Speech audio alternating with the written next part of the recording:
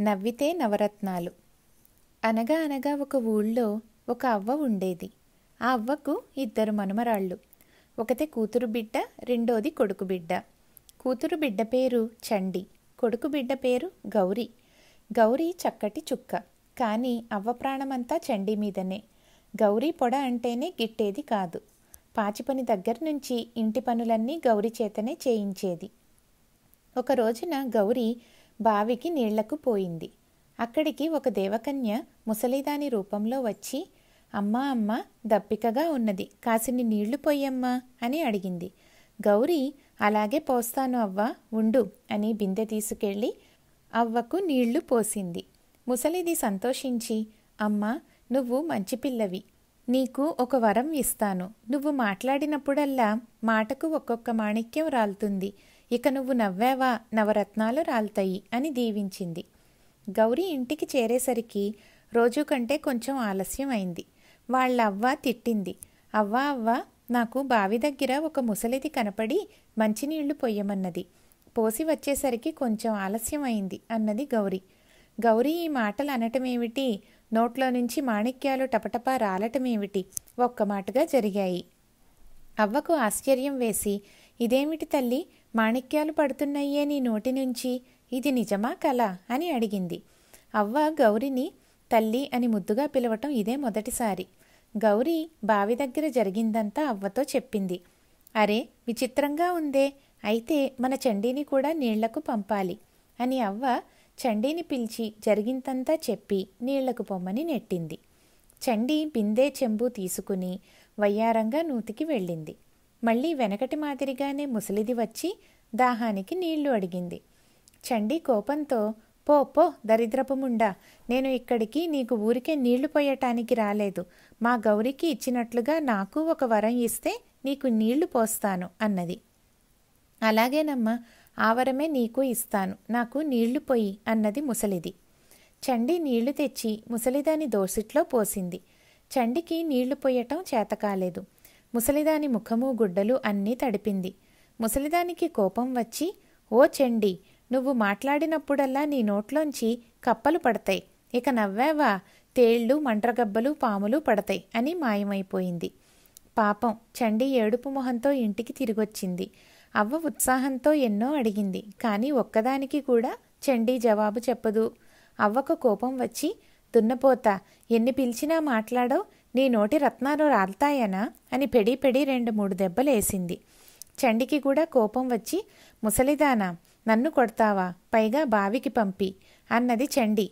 ఈ మాటలు అనడమేమిటి కప్పలు నోట్లో నుంచి గబగబా పడటమేమిటి రెండూ ఒక్కసారిగా జరిగినాయి.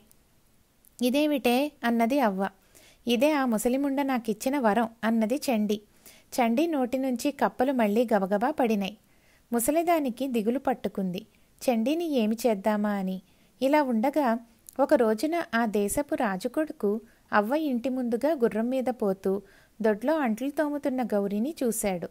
ఆ పిల్లను చూడగానే అతనికి ఆమెను పెళ్ళి చేసుకోవాలని బుద్ధి పుట్టింది.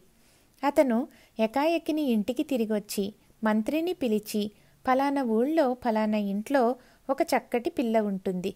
నువ్వు పల్లకి నగలు గుడ్డలు తీసుకుపోయి ఆ పిల్లని తీసుకొచ్చి నాకు పెళ్ళి చెయ్యి అన్నాడు.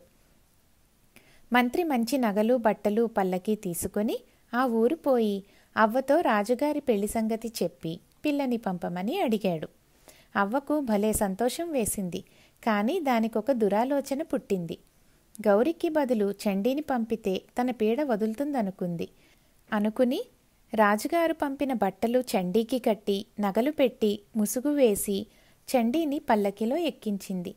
ఎక్కించి చండీ చెవిలో జాగ్రత్త పెళ్ళి అయిందాకా మాట్లాడమాక ముసుగు కూడా తీయబోకు అని రహస్యంగా చెప్పింది.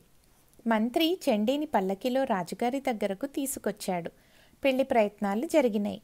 చండీ పెళ్ళి రోజు వరకు మాట్లాడకుండా ముసుగు తీయకుండానే జరిపింది. కానీ పెళ్ళిపీటల మీద కూర్చున్న తర్వాత తప్పలేదు. పురోహితుడు ఏవో మంత్రాలు అనమన్నాడు. చండీ మర్చిపోయి అన్నది అనటమేమిటి కప్పలు పడటమేమిటి ఒక్క మాటే జరిగినాయి చండికి ఇది చూసేసరికి నవ్వొచ్చింది. పకపక నవ్వింది. ఇంకే తేళ్ళు పాములు మండ్రగబ్బలు కప్పలు కుప్పలు కుప్పలుగా పడ్డాయి. పురోహితుడు పెళ్ళి పెద్దలు అంతా పారిపోయారు. రాజుకొడుక్కి కోపం వచ్చింది. పీటల మీద నుంచి లేచి ఎకాయకిని చెండి అవ్వ దగ్గరికి పోయాడు. అవ్వ అప్పుడు వంటింట్లో బూరెల బుట్ట దగ్గర కూర్చుని మెక్కుతున్నది. అక్కడే గౌరి కూడా వంట పనులు చేస్తున్నది. రాజుకొడుక్కి గౌరీని చూడగానే ఆశ్చర్యం వేసింది. నువ్వు ఇక్కడికెట్లా వచ్చావు? అని అడిగాడు గౌరిని. నేను కూడా మా అవ్వకు ఒక మనవరాలిని అన్నది గౌరీ వినయంగా. గౌరీ ఈ మాటలు అనగానే నోటి వెంట రత్నాలు రాలినాయి. అప్పుడు రాజుకొడుక్కి అవ్వ చేసిన మోసం తెలిసింది. కోపంతో మంత్రిని పిలిచి ఈ అవ్వను ఆవిడ మనవరాల్ని తీసుకెళ్ళి బుర్రగొరిగించి గాడిదనెక్కించి ఊరి చుట్టూ మూడు మాటలు తిప్పి ఊరి బయటకి వెళ్ళగొట్టు అని ఆజ్ఞాపించాడు. ఈ ఆజ్ఞ వినగానే గౌరికి ఏడుపులో కూడా నవ్వొచ్చింది. గౌరీ నవ్వటమేమిటి? నవరత్నాలు రాలటమేమిటి?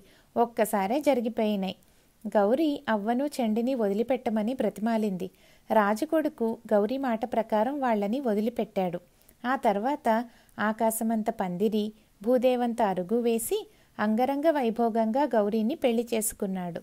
గౌరీ రాజుకొడుకు నూరేళ్ళు బ్రతికి హాయిగా రాజ్యమేలారు. అది కథ.